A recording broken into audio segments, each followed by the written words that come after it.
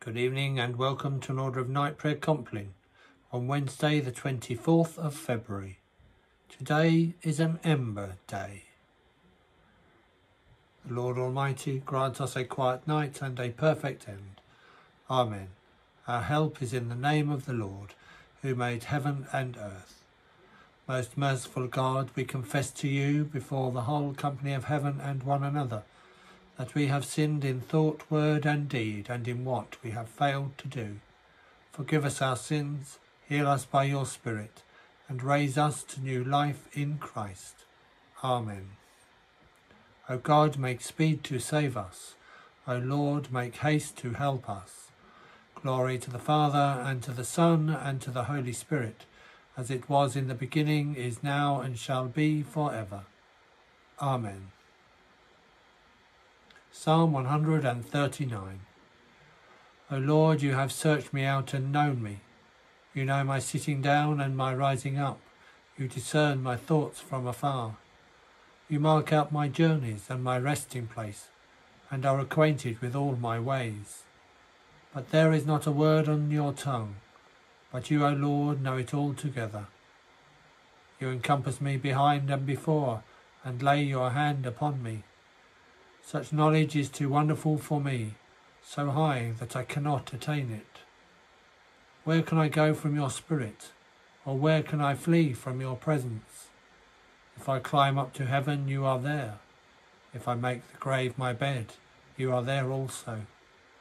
If I take the wings of the morning and dwell in the uttermost parts of the sea, even there your hand shall lead me, your right hand holds me fast. If I say, Surely the darkness will cover me, and the light around me turn to night. Even darkness is no darkness with you, the night is as clear as the day. Darkness and light to you are both alike. For you yourself created my inmost parts. You knit me together in my mother's womb. I thank you, for I am fearfully and wonderfully made. Marvellous are your works, my soul knows well. My frame was not hidden from you, when I was made in secret and woven in the depths of the earth.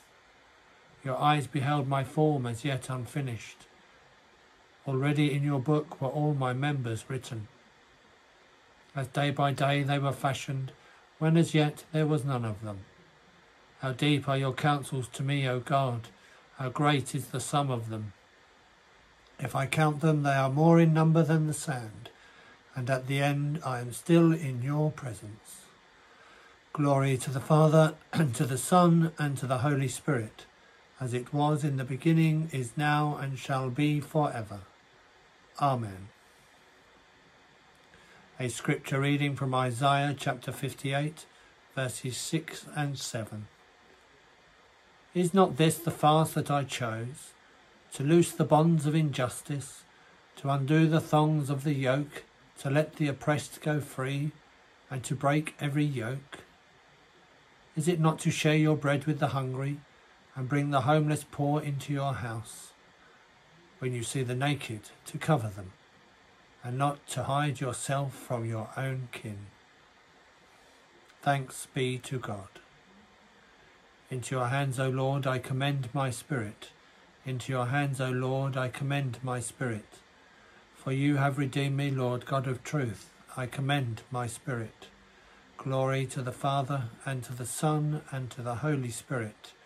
Into your hands, O Lord, I commend my spirit. Keep me as the apple of your eye. Hide me under the shadow of your wings. The Nunc Dimittis, Song of Simeon. Now, Lord, you let your servant go in peace. Your word has been fulfilled. My own eyes have seen the salvation which you have prepared in the sight of every people, a light to reveal you to the nations, and the glory of your people Israel. Glory to the Father, and to the Son, and to the Holy Spirit, as it was in the beginning, is now, and shall be for ever. Amen. Almighty God, whose Son Jesus Christ fasted forty days in the wilderness, and was tempted as we yet without sin.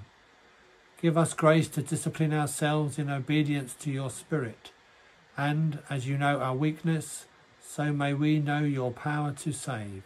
Through Jesus Christ, your Son, our Lord, who is alive and reigns with you in the unity of the Holy Spirit, one God, now and forever.